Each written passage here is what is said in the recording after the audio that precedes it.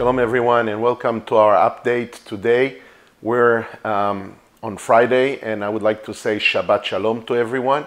This is our quick update about what's happening in Israel right now, what's going on in the spirit, and obviously, I would like to speak a little bit about the Torah portion of this week because it's interconnected to what we are experiencing right now in Israel. So, real quick, we are reading out of the book of uh, Numbers and we're talking about this Torah portion that speaks about the journeys of the tribes of Israel towards the promised land. Moses and the tribes of Israel are actually camping on the other side of the Moses River, of the Jordan River, sorry.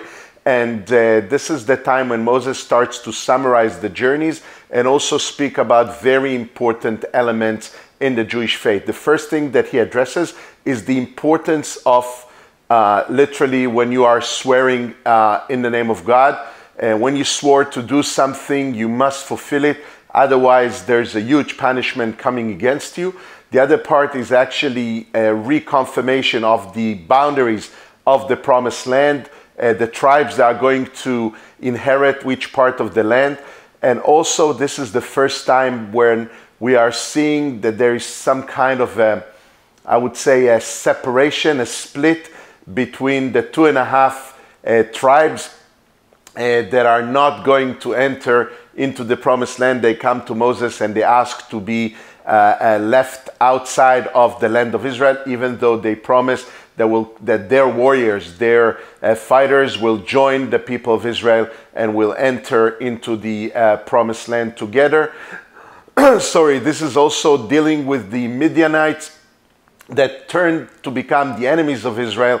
And again, we see that evil spirit uh, that even though the people of Israel are fighting against the Midianites and they win the war, still uh, they bring in as spoil of the war the women of Midian. And God said to Moses, The reason that I want you to turn the Midianites, which is the family of Jethro, his father in law, into your enemies, it's because of the women of Midian. They are turning the hearts of their men against God and they try to draw them into their worship of idols and into paganism again. So Moses gets very, very uh, furious and very mad with the people, uh, the warriors, that they take the women instead of uh, killing the entire enemies of Israel, the Midianites. And therefore, he gives orders to what to do with them. How does all this connect to the uh, events in Israel right now? So, first of all, uh, the importance of the swearing, the importance of the fact that you put your hand on the Bible or you, you, you, you swear in the name of God. Uh, we actually yesterday had a new president in Israel who swore in the name of God, putting his hand on the Torah scroll. A brand new uh, president in Israel, Buji Yitzhak Herzog, who is actually a son of a former president. He's the 11th president of Israel. His father was the sixth, Chaim Herzog was the sixth president of Israel. We see a beautiful continuation over here. And he was giving an inauguration uh, uh, a speech in the Knesset yesterday.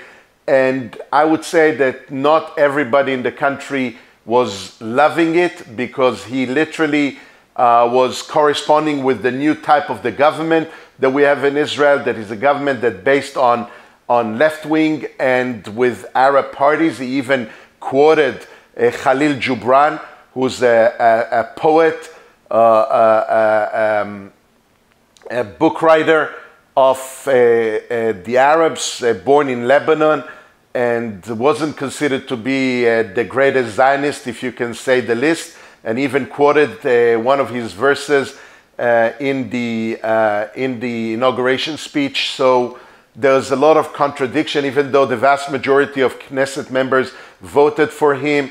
He was the leader of the Labour Party, which is part of the coalition now.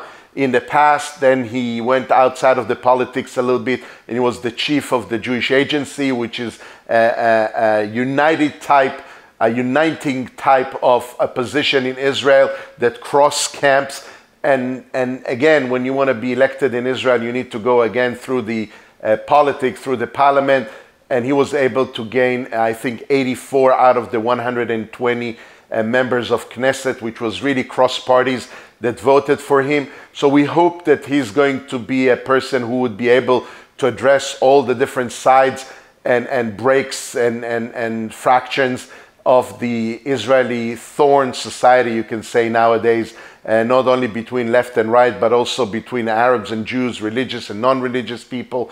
So we hope that he'll be able to be uh, a uniting element, but the way he gave his speech yesterday uh, wasn't very promising, at least not from the right side of the political map. But uh, leaving this aside, uh, we've seen today another thing that happened is uh, literally the first time that the Biden administration is getting very mad and, and literally expresses it in a very loud, loud voice uh, against uh, a decision that was made by the Israeli uh, government. Um, we have this punishment in Israel that is a very known one that if you're a terrorist and you killed Israelis, uh, the, the, the government of Israel is destroying your home. They literally come and they destroy your home. They know that this is a very effective punishment in general against terrorists if they start to consider and think about uh, performing an act of terror or killing people, they should always take into, into consideration that their home is going to be destroyed, their family will be thrown into the streets, and, and they'll be banned from the society around them. And, and some of them are, are radical enough, extreme enough to not care about the uh, uh, future of their families and what's going to happen with them. Even though, you know, nowadays we are very sadly uh, feeling and knowing that they get a great reward from the Palestinian authorities. If you kill Jewish people, either if you're in prison or you died, the Palestinian authority is giving a monthly stipend for your government. You get a pension from them. They encourage you uh, to, be, uh, to be a terrorist. Uh, but on the other hand, they should always remember that Israel will destroy their homes. So uh, there was a terrorist that uh, was captured for killing a Jewish, a Jewish yeshiva boy uh, in uh, the junction of Tapuach. And the government of Israel and the court of Israel was going through the regular procedures uh, to give that total punishment and destroy his home. And yesterday, this was executed.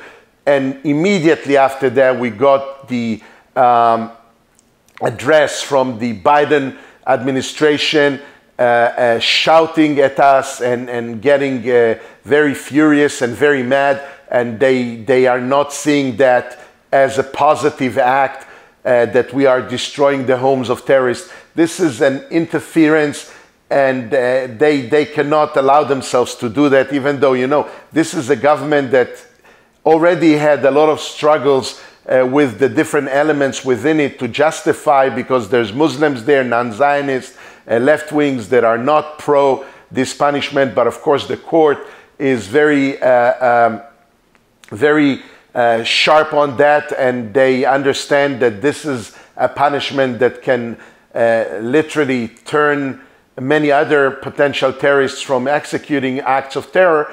And the Supreme Court of Israel did support that, and the government has no other choices. Once the Supreme Court decides, uh, they must execute their their decisions. So uh, we face this little crack fraction uh, between the new administration of Israel and the one in the United States of America, which allows themselves, together with their will, to uh, split Jerusalem almost to build an, uh, a Palestinian, uh, well, I would say, uh, American consulate in Jerusalem to serve the Palestinians, just like I've updated you not too long ago. This is another act of patronizing uh, the new government of Israel and literally trying to intimidate uh, the new prime minister and uh, uh really interfere in the Israeli internal affairs. So uh, we need to back again to pray, pray about this, to ask the Lord God of Israel to give more strength uh, to Benjamin Netanyahu and the opposition. They just this week they were able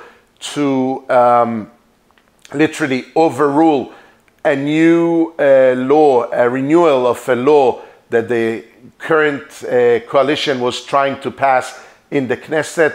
The opposition had a victory over here and they were able to uh, literally push it out because uh, the coalition didn't have the majority to back this law. Maybe this is the first swallow, a first sign of cracks in that coalition that would hopefully lead to a more balanced government, maybe a new coalition where the Likud party, the largest party of Israel, the party of Benjamin Netanyahu, would be part of it, and this would reflect better the will of the voters. So we've seen first cracks uh, in that coalition right now. Uh, we want Israel to be strong. I don't want you to think that I'm praying against the government because I know God is the one who nominates kings and rulers and, and prime ministers and presidents. So we have a new prime minister, a new president, and I know everything.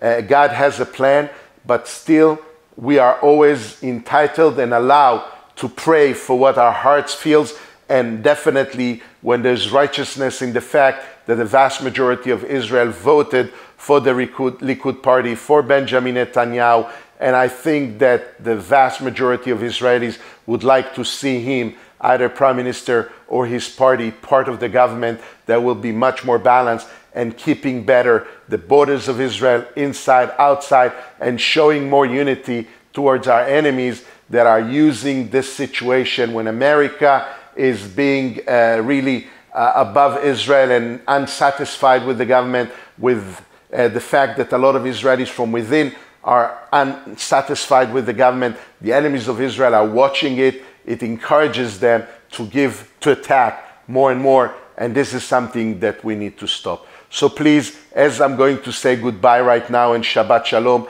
I would like you to join with us in prayer and be a part of our uh, journey together to the betterment of the government and the state of Israel. Shabbat Shalom. I love you and I'll see you soon.